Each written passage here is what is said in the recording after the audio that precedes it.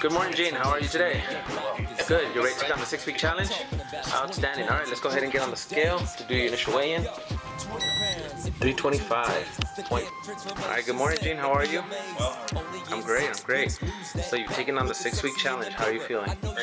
Great. Good. So what do you think about the camp? Awesome. Awesome. Good. All right. So your initial weight was 325.4. We're here to do your final weigh-in.